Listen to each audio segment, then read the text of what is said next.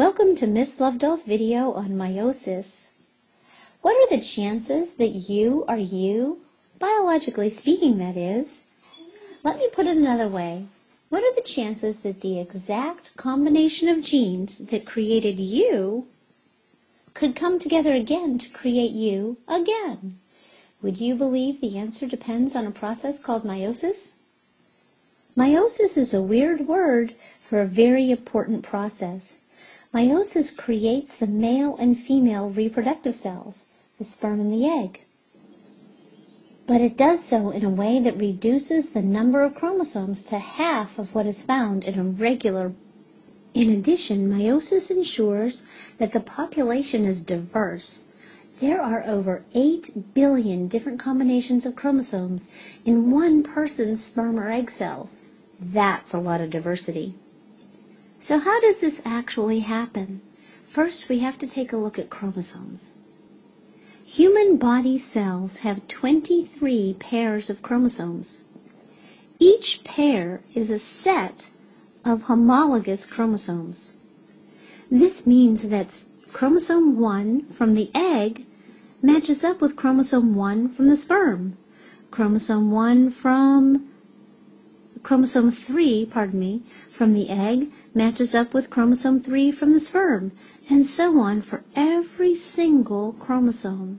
It has a matching chromosome from the opposite reproductive cell. But how does this actually happen inside the cell?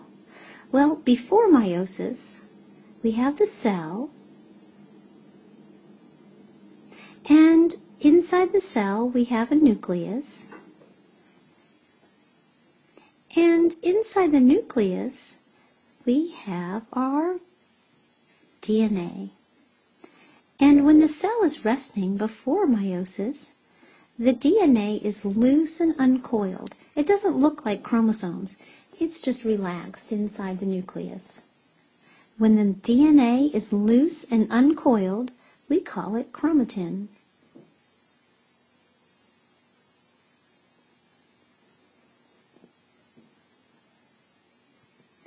To get ready for meiosis, the chromatin condenses and forms chromosomes. In human body cells, imagine that we have 23 pairs of chromosomes inside our nucleus. In addition, each chromosome copies itself. Now, there is no way that I can fit 23 copies of chromosomes inside this little nucleus, but you get the idea. Each chromosome copies itself, and the copied form is called a tetrad, which means four. There are two steps in the meiosis process, meiosis 1 and meiosis 2. In meiosis 1, there are four phases, prophase, metaphase, anaphase, and telophase. For you Twilight fans, you might recognize these words. And since this is meiosis 1, we call this prophase 1, metaphase, pardon me, metaphase 1, anaphase 1, and telophase 1. In prophase 1, two main things happen. The first is that the pairs of chromosomes line up or pair up together. They get very close together. The second thing that happens is that the chromosomes exchange genes in a random way. This random exchanging of genes is called crossing over. This is what it looks like inside the cell, the tetrads get very close together.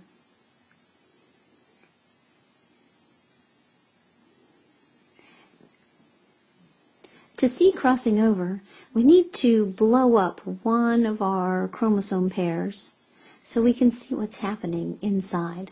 So let's go to another page.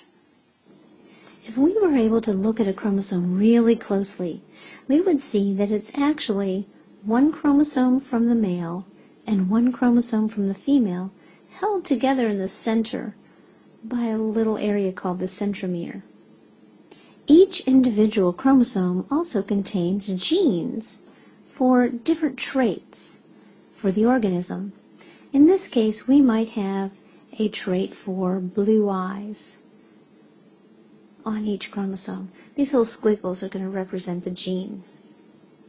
During crossing over, the gene from one chromosome actually switches places with the same gene on the other chromosome. So in this case, we have the gene for blue eyes switching places for the same characteristic, eye color, but maybe this is the gene for brown eyes. And what happens is we end up with chromosomes that are not exactly the same. Crossing over recombines or mixes up alleles on the chromosomes. It's random and depends on whether or not the chromosomes are close together, and it increases genetic diversity. Crossing over increases the combinations of alleles in the gametes. Without crossing over, the offspring would always inherit all of the many alleles on one of the homologous chromosomes. Now that we've mixed up our genes, or our alleles, the next phase is metaphase. During metaphase, the homologous pairs of chromosomes line up on the equator of the cell.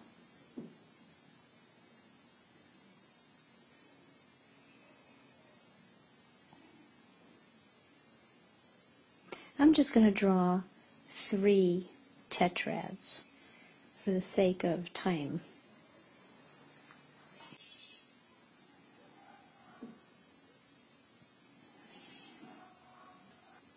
Because the spindle fibers attach to each homologous pair randomly, male and female chromosomes are pulled to random sides of the cell and result in a random mixture of chromosomes on either side of the cell. This is another way that meiosis increases the genetic diversity in the offspring. The next phase is anaphase. During anaphase, the homologous chromosomes separate and are pulled to either side of the cell by the spindle fibers. This is what it looks like. Here are little homologous pairs, and here's a spindle fiber. And you'll notice that they've shortened so that the chromosomes are pulled to the opposite ends of the cell. The last phase of meiosis 1 is telophase 1. During telophase 1, the spindle fibers dissolve and the chromosomes unwind. The nuclear envelope reforms and gradually the cell divides into two new cells. But meiosis is not over yet because the two cells created after meiosis 1 still have a complete set of chromosomes.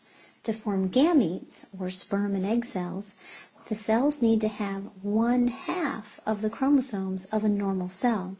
So the cell gets ready to divide again. The second cell division is called meiosis II.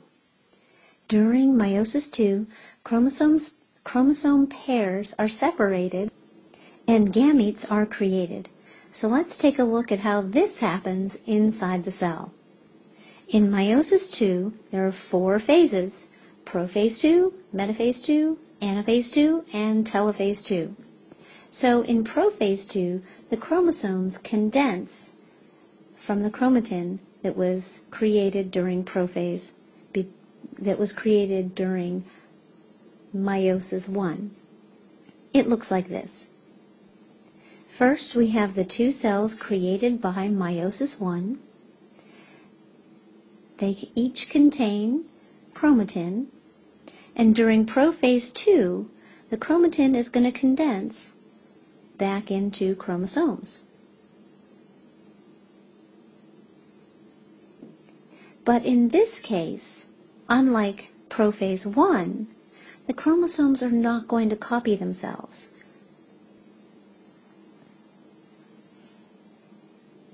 Notice that the nuclear membrane has dissolved, and during metaphase 2, the chromosomes line themselves up on the equator of each cell.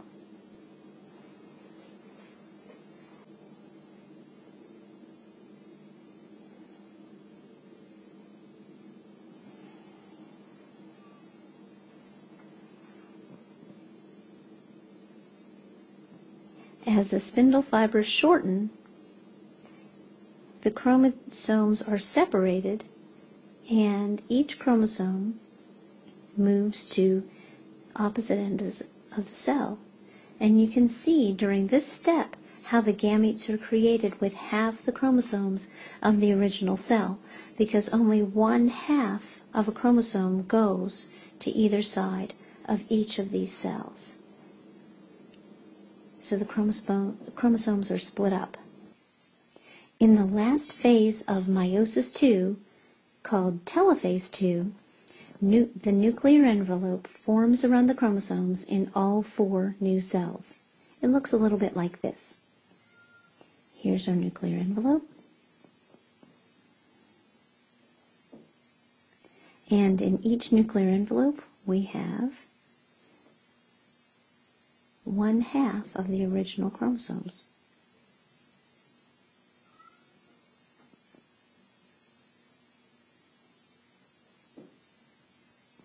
Meiosis results in four cells that have half the DNA of the parent cell.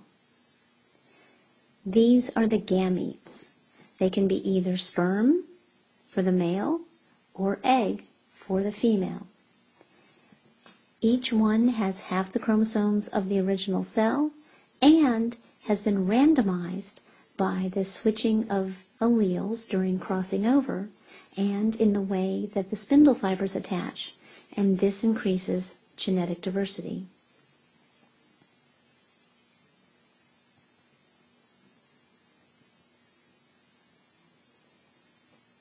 And now you know how meiosis works.